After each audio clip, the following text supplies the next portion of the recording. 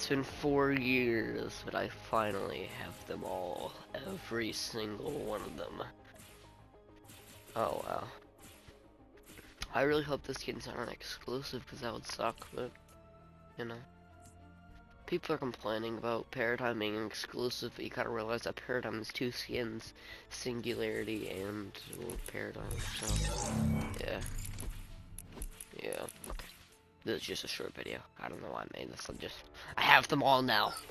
I have, and you know, as you guys know, I'm a huge storyline fan, and like, I'm a huge story. I'm a huge lore nerd. As you guys know, I'm a huge lore nerd when it comes to any video game, and I finally have them all. Every single one of them. I finally have all the seven. So yeah, thank you guys all so much for watching, and see you.